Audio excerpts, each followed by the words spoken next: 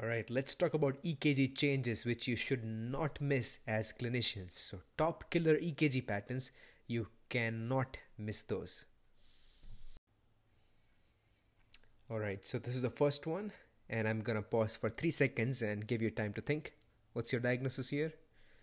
So, let's take it step by step. So, you are seeing some ST elevation, and if you look this carefully, you are seeing some ST elevation in lead 1 lead AVL, some in V1 and V2, and some ST depression in lead 3. So there are some ST elevation in lateral leads, right?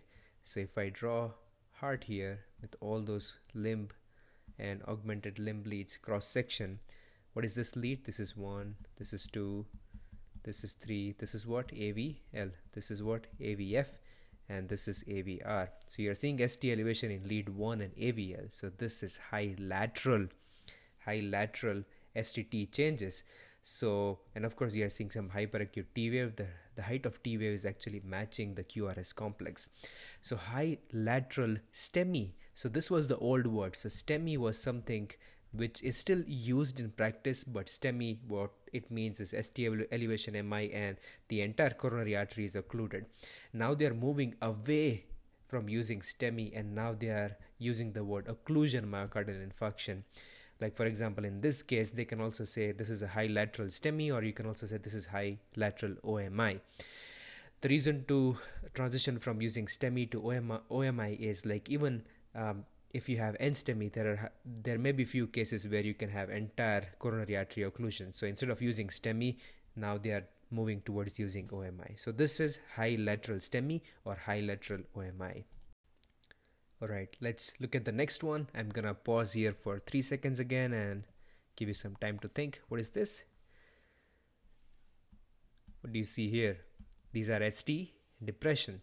So you are seeing actually ST depression in V1 through V5, maximally in V2 to V4. You are also seeing some trace ST elevation in lead 3, just slight above the isoelectric line.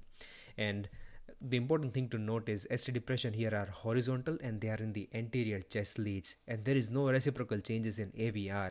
So you are seeing horizontal ST depression in the anterior lead. That means there is something going on in the posterior wall. So this is posterior STEMI or also called as posterior OMI. Let's look at the next one. What do you see here? This these are tall T waves, right? And uh, do you see any STT changes in the chest leads here? These are actually upsloping ST depression, right? From V2 to V6, you also see some upsloping uh, ST depression in, you know, uh, lead 1 and 2 these are actually called as De Winter's T wave and now most of the guidelines are recommending to consider this as a STEMI equivalent. So if you see upsloping ST depression and tall T waves peaked T waves especially in the anterior chest leads this is actually STEMI you know equivalent.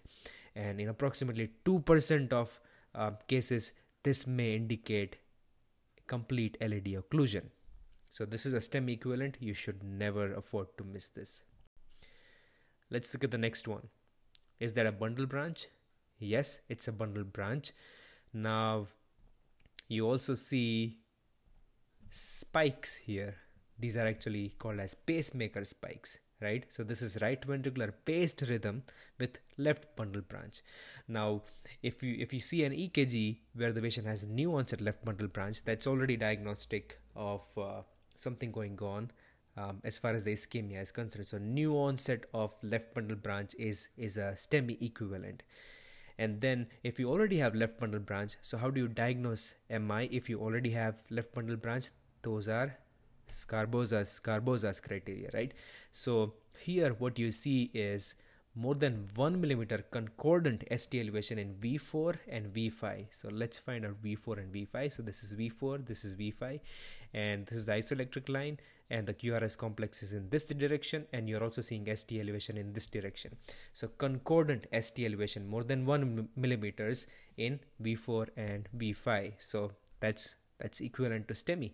And you can also see some discordant STT changes. Like for example, in V2 and V3, if you look at V2, this is V2 and V3, the QRS complex is on this side, the STD changes are happening on this side. That means it's discordant, and this is more than 5 millimeter. This is the isoelectric line, so more than 5 millimeter of discordant STD changes. That's also diagnostic of um, myocardial infarction, especially STEMI. So this is also a STEMI equivalent. This is anterior anterolateral myocardial infarction. Let's look at the next one. What is this?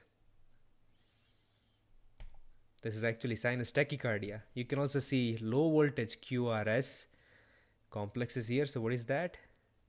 Diagnostic of massive pericardial effusion causing pericardial tamponade. What's your next step in management? Of course, you can do a quick bedside. This patient needs help of CT surgery, right? You can either do emergent pericardiocentesis and you can uh, or you can take the patient for surgery depending on what the cause is. What is this? This is severe bradycardia. You can barely see P waves. There are, you know, flattening. You can barely see P waves. Or if at all you see P wave, there is prolonged PR interval and the QRS complex is here wide. What electrolyte abnormality can cause this? Severe hyperkalemia. Remember tall T waves, and if it's going very bad, ultimately this can lead to death.